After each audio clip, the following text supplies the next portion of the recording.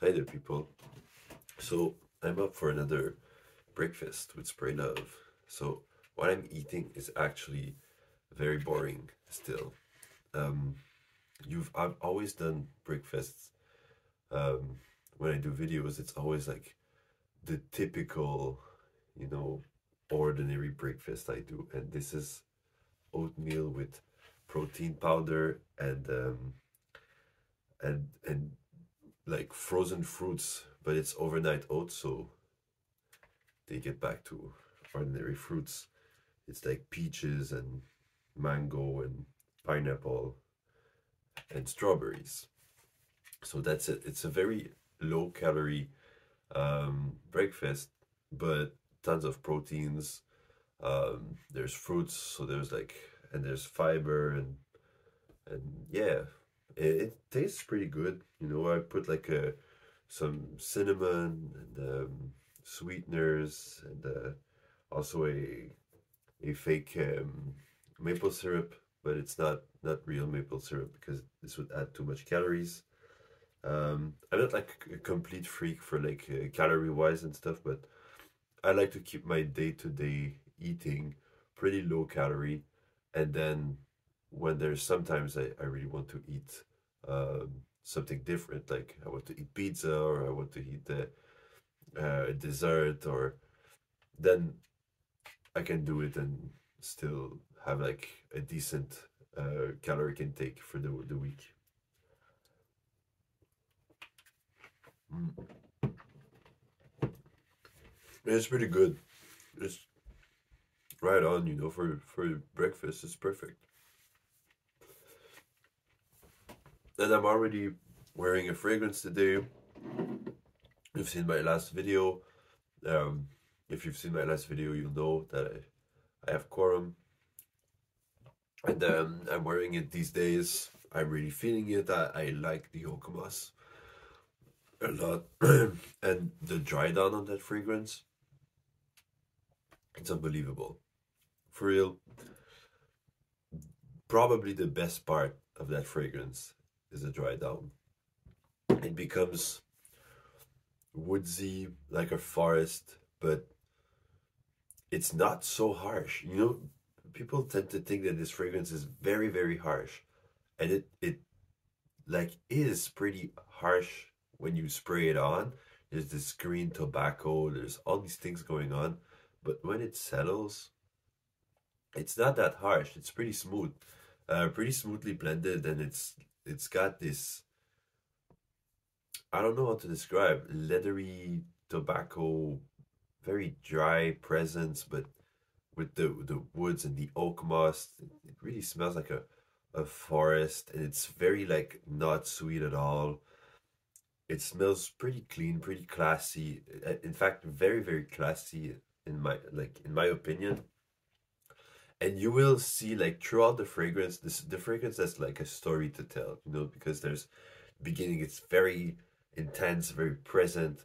There's all these notes coming coming about and a bit like almost overpowering and there's citruses uh, off the top but they fade away pretty quickly uh, and it kind of transitions into something that is really i think i like sauvage elixir so there's this kind of a cinnamon vibe, old school vibe that you can find in Sauvage Elixir. But then it, the dry down, the far dry down of that fragrance is, in my opinion, a lot better. There's no ambroxan, there's nothing scrapey about it. It's just very clean, like there's the soapy cleanness remains, the leather and tobacco remains, but everything just finds its place. It's quieter, but still very present, and um, it smells like a forest. It's really, really cool.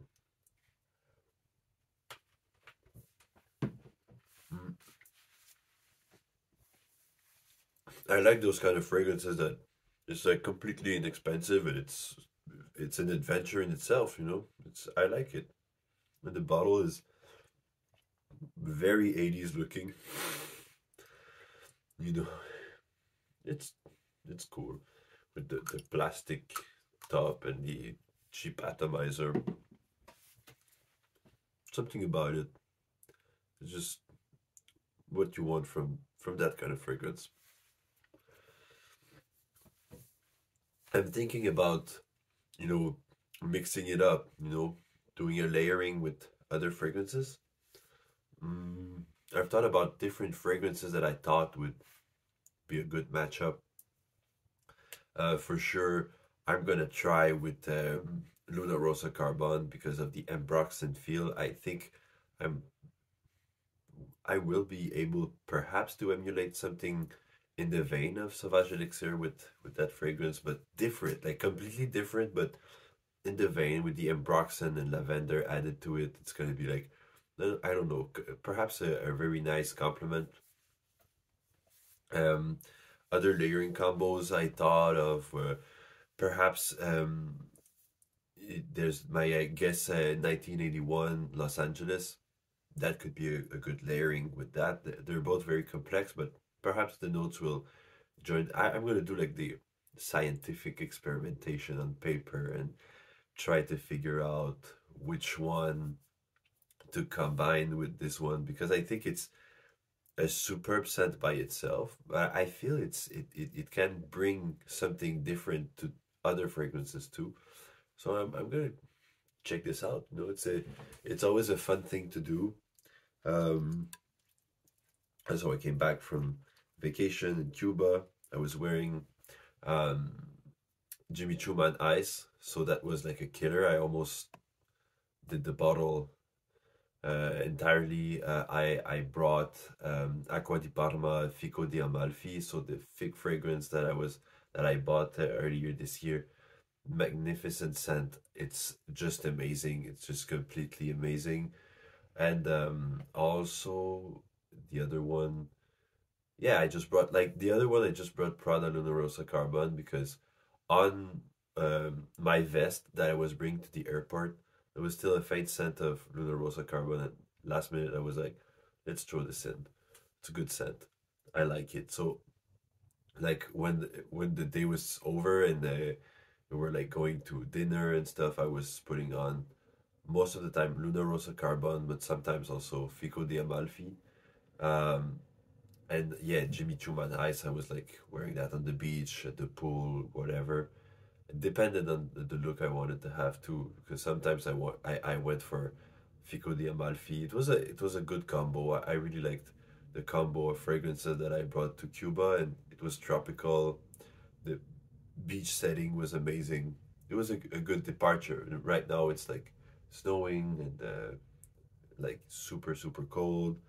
Uh, so it was a, a good departure. Right now in like a better state of mind to continue forth uh, in in new adventures and uh, yeah i hope you will be in it with me.